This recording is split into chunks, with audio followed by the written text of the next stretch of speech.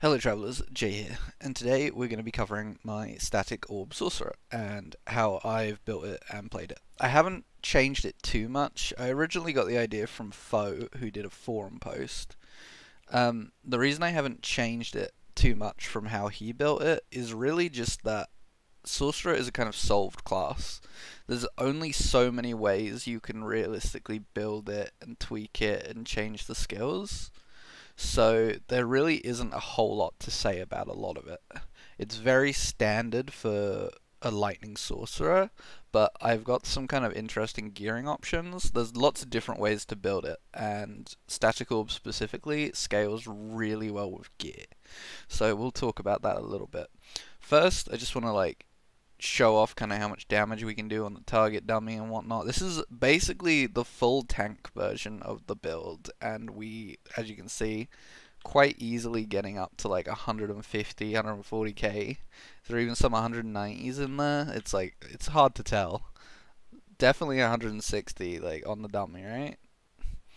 So, going basically full tank this character still hits extremely hard with with Lightning Blast, which is your single target skill, and Static Orb doesn't hit quite as hard, but with all the shred and you can't really see very well, but Static Orb shotguns and hits multiple times because of all the small orbs. So we're hitting for like probably close to 200k every time once we have shred and like uh, shock kind of stacked up on the dummy, right? So it hits extremely hard, and this character has like close to 100k effective HP due to the gearing options I've chosen. Now, if you're looking at the gear, it looks a little scary. I'm going to cover the gear first for this build just because, like, it looks quite intense. So I've got Ravenous Voids, which is the big thing. Now, you can definitely use, and I would actually probably recommend to newer players just to use a random pair of gloves like this, like these engraved gauntlets. The, the shred is low, but these are like perfect. It's got cast speed, it's got int. You could also swap it out for crit chance if you need crit, hybrid health, and then armor shred. And that would that would be fine. In fact, you would actually then be able to cap your endurance. I need to shift some gear around a little bit. So Ravenous Void are not required at all. It's just one of those things. If you want to absolutely push this build to the limit, play with Ravenous Void because you will be nigh unkillable against most things. It's the same with Prism Wraps. Mine are legendary. They have percent increased health you don't need that. You can you could run with just a random pair of prism wraps with with no legendary potential whatsoever. It's really just here for the leech and the reduced damage taken because we're using Twisted Heart, which has quickly become one of my favorite items in the game.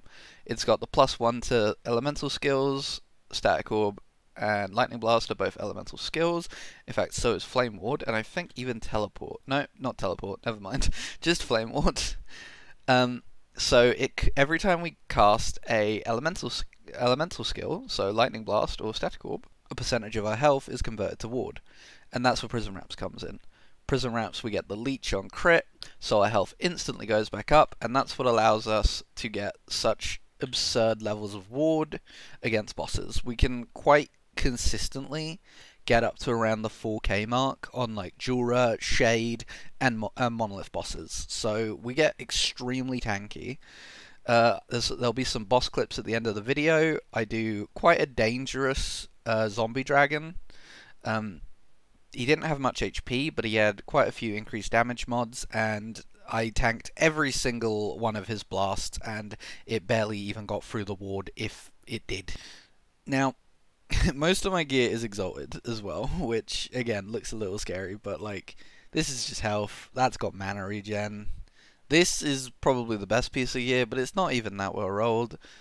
Um, this is Exalted Crit Multi, and again, it's not even well rolled. I'm really just using this for the implicit spell crit and the mana, so I can hit the 300 mana breakpoint. Um, I needed to run a Bone Amulet, because I needed the res, I needed a bit of spell crit, and I needed a way of getting armor shred because it's so much damage because of the way static orb shotguns. This helmet right here is completely unnecessary, but it is the reason why I made the build. I dropped this helmet, and I was like, okay, I need to do something with this, right? it's the one of the only double T6 items I've ever dropped that was usable. So it's got almost 100 and, uh, 190%. Nope, that's not right, is it? Almost 160% increased spell damage. Uh, maths is not my strong point. Along with the plus 3 to level of Lightning Blast and the plus 3 to level of Static Orb.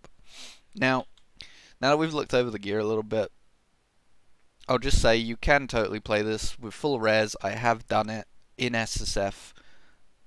It's totally viable. In fact, in some ways, it will. It, it should do more damage if you're decked out in full res. Um, there'll be links in the description for planners with optimized gearing uh, options. One that I'll do one for uh, no res. I mean no unique. Sorry, no res. You want res?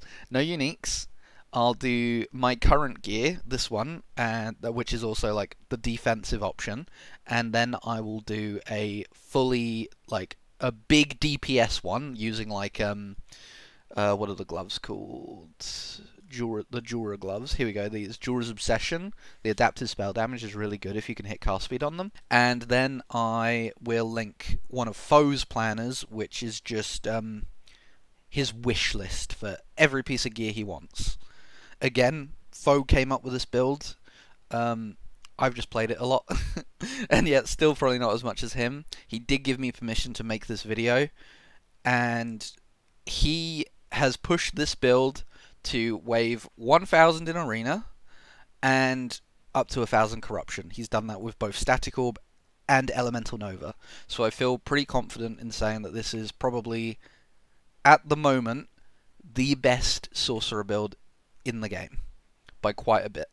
Alright, so first up we've got Lightning Blast. Now, this is a very standard Lightning Blast tree. If you've never played a Sorcerer before, the nodes to prioritize are Hypercharge for the quadruple cast chance, Convergence for the big single target. This makes it so your Lightning uh, your Lightning Blast can only chain to one target, so on bosses you'll be hitting them multiple times, and the quadruple cast chance obviously just it's quadruple damage essentially.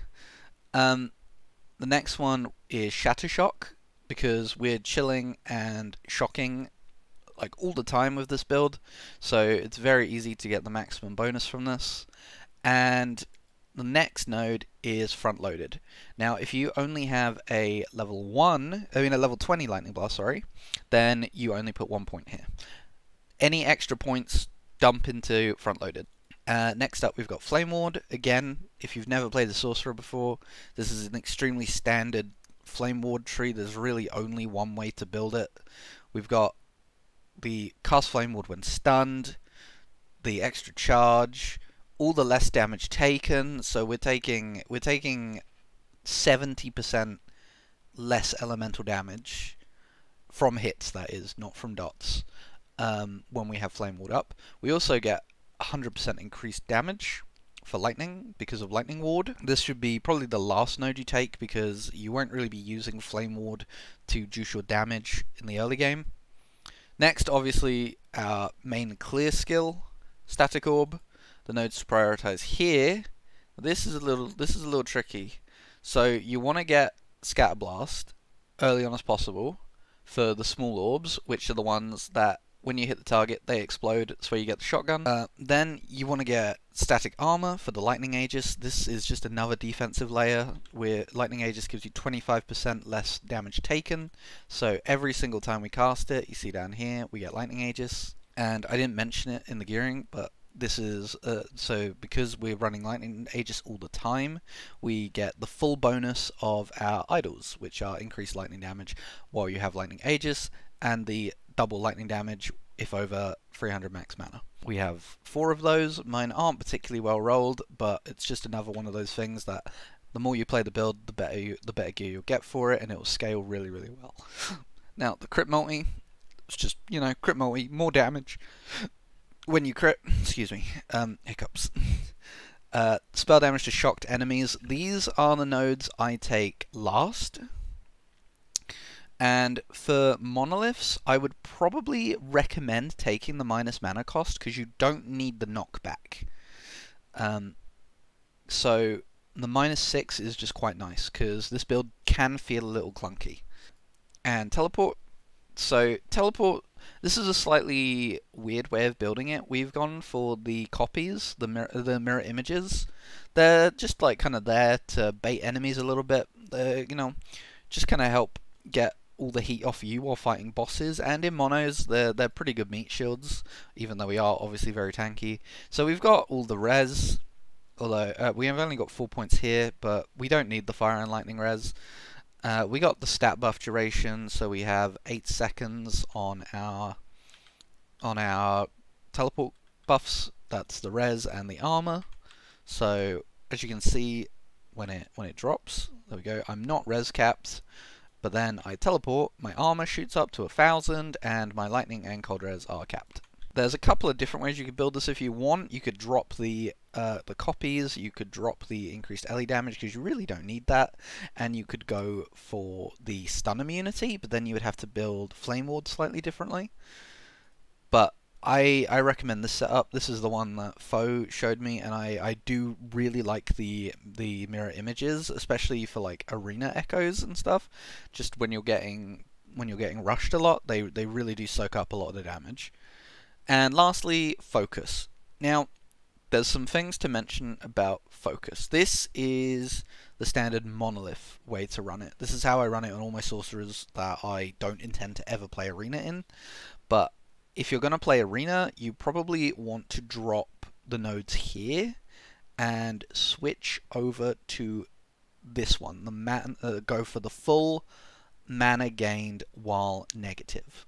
So you drop all five points here and potentially probably even that point I would say and you go one here and then the four points here so that when you drop below maximum mana what you'll be doing is you'll be casting you know it takes a while because it doesn't cost that much and we do have a lot of mana and you get negative you teleport and then you would focus and then you would instantly have a burst that like basically fills your mana and that's what you do in arena it feels a lot comfier that way let's take a look at the passives again, um, I'm only going to glance over this because it's it's all in the description. This is very standard mage passives. You know, we got we got some health, we got some some damage, res, all the cast speed, big crit and crit multi. Got the ele res in Spellblade, and then this is just about as generic as it gets for a lightning sorcerer tree. It's this is kind of one of the bad things about Sorcerer is there's really only three ways of building it.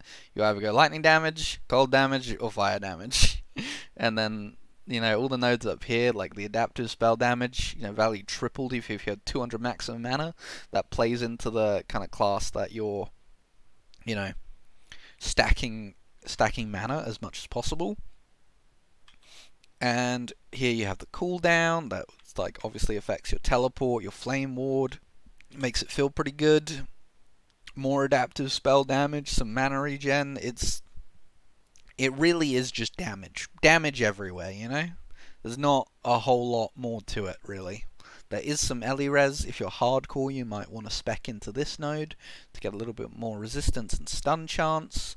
But honestly, it should be fine along with teleport, or you can just run a little bit more resistance on gear. But yeah, Sorcerer, very solved class. There's This is the way to build a Lightning Sorcerer. Alright, to go over the pros and cons of this build, and Lightning Sorcerer in general, it's extremely, extremely tanky. You know, we've got close to 100k effective HP, uh, more with Flame Ward up. We have more damage than we really know what to do with for the content in the game. All the all the footage in this video was at 300 corruption, and it's very mobile. I really enjoy Teleport. Teleport feels very nice, especially if you've been playing things like Rogue and uh, Sentinel, which, you know, shift and lunge. They feel pretty good, but Teleport, oh, it's really, really nice. And it's extremely flexible for gear. You can go full damage, full tank, hybrid, and it scales really well. For cons, it can be squishy early on. Before you get things like Twisted Heart and Prism Wraps, and even just a leveled up and have a good amount of HP, it can feel a little squishy. So I know I said a pro is its tanky, but a con is at low gear levels it's squishy. And it can feel a little clunky. I only have 17 mana regen. If you can get this up to around 22 to 25, you won't ever have to press focus. And it feels great. Any other cons? I think maybe just that Sorcerer is quite a solved class and that there's really not many ways to innovate it. Well, that's about it really. There isn't a whole lot else to say. Uh, this is uh, Static Orb Sorcerer. Like I said, it's not me who came up with the build, it was FoE originally. He's the one who's played it to the really high competitive levels. Uh, thank thank you again, FoE, for giving me permission to make a video on it. Uh, it's it's a lot of fun. I hope you guys try it, and I hope you're excited for the new patch. I'll be streaming it over on Twitch at uh, twitch.tv slash jaytheproduct. I'll be I'll be live almost every day. The only days I definitely don't stream are Mondays. So yeah, I'll see you then. Catch you later, guys.